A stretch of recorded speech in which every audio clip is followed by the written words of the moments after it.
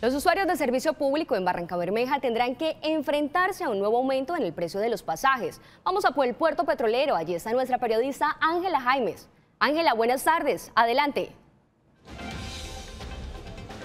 Precisamente esta decisión la toman las empresas de servicio público porque aseguran que ya no pueden mantener esta tarifa de mil pesos. Se están viendo afectados no solo las empresas, sino las familias que trabajan y que viven y dependen de este servicio aquí en la ciudad. Veamos este siguiente informe. Esta medida que tenían los propietarios y conductores de vehículos de tener el transporte a mil pesos obedecía a una forma de estimular el uso de transporte público y poder competir con el transporte informal. No es que se haya incrementado la tarifa a 1.800 a, a 1.500 ni a 1.800, sino que la tarifa real es 1.800 y este incremento obedece ya a una decisión de los conductores y propietarios. Alrededor de 180 busetas son las que tienen operando las dos empresas de transporte en la ciudad, viéndose obligados a nivelar la tarifa por el incremento en el combustible y gastos en general de una buseta y ya no pueden mantener este mismo valor. Es para que ellos entiendan, de todas maneras nosotros tenemos una inversión y trabajar ya pérdida como lo estamos haciendo no, no, no, no se puede.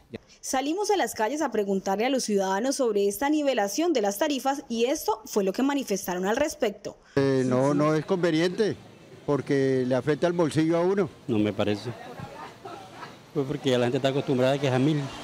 Parecer esa tarifa de 1.800 pesos se mantendrá para este 2.000 pesos, si no estará incrementándose 100 pesos y quedaría en 1.900. Nosotros estaremos al tanto del desarrollo de esta información.